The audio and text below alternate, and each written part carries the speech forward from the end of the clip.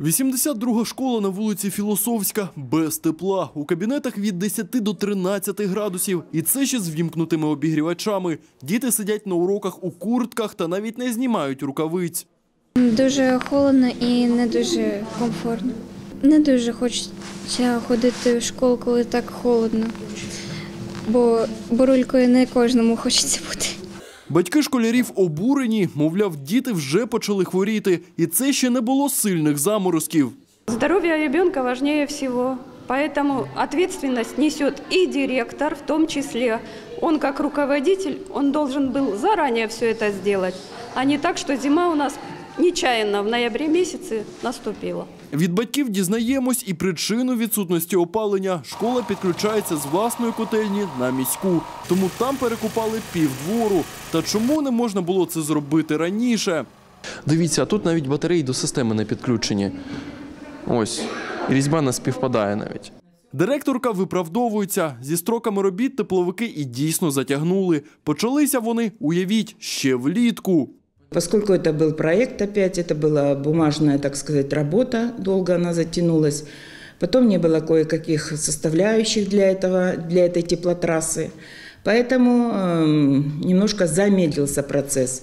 Керівництво школи прогнозує завершення робіт вже за три дні. Наразі ж класи працюють лише частково. Учні молодших на позачергових канікулах. Старшокласники ж мерзнуть у кабінетах. У Держспоживслужбі нам сьогодні повідомили, проблеми з опаленням у навчальних закладах є по всій області. На п'ятницю по Кривому Рогу без опалення залишалося 75 дошкільних та 55 загальноосвітніх навчальних закладів. Залишається без централізованого опалення центральна частина міста Кам'янське та мікрорайони Черемушки, Дніпробуд. Як наслідок не опалюється 35 дошкільних навчальних закладів та 24 школи. Не отримали опалення й мешканці деяких житлових будинків. Серед них інженерна 6 на 12-му кварталі. У квартирах холоднеча. Крижані труби. Крижані. Ніна Іванівна через рік розміняє дев'ятий десяток. Через стан здоров'я пересувається лише на милицях, тож зігріватись їй дуже важко.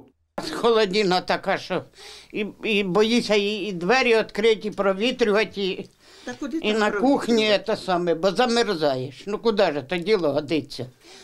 Це ж іздівательство над стариками. Чи вони хочуть, щоб ми повимерли, як ті мамонти?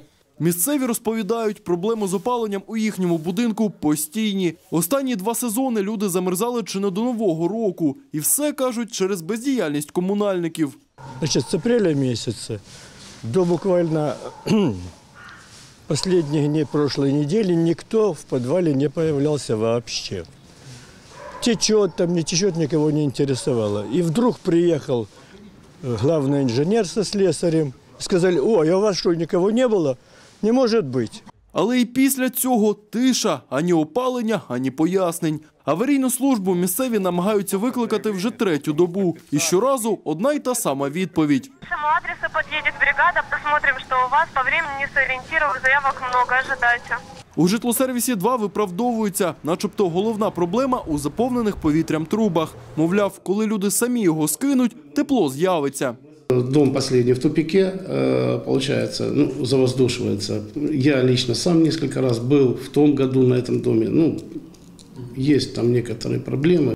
А ось мешканці проспекту Поля 115 і досі мерзнуть у квартирах. Пуховики від брата забрала з дачі. Як бомж. Накрилась, носки теплі, пуховики і так далі. Хто як може, хто так і спасається. Місцеві грішать на нову котельню, до якої їх підключили перед опалювальним сезоном. Буцімто і двір весь перекупали, і без тепла людей залишили. Однак тепловики все заперечують. У вас в доме закрыто. У вас нет этого, кто откроет. Як виявилось, опалення немає, бо комунальники не можуть потрапити до підвалу та відкрити вентилі. Ключі ж у власника спортклубу, який орендує тут приміщення. У житлосервісі пообіцяли вирішити проблему протягом найближчих днів. Они ждут его там. Вот сейчас я с ним связывался по телефону, мы его ждем. Пообещал он приехать. Как только приедет, мы открываем задвижки. Щодня 11 канал моніторить ситуацію з опаленням у місті та приймає на гарячу лінію сотні дзвінків від обурених людей. Адже дедлайн, коли міська влада пообіцяла 100% підключити будинки до опалення, скінчився минулої п'ятниці. Контактний телефон редакції зараз на ваших екранах. Єгор Махло, Єгор Любарщук. Новини 11 каналу.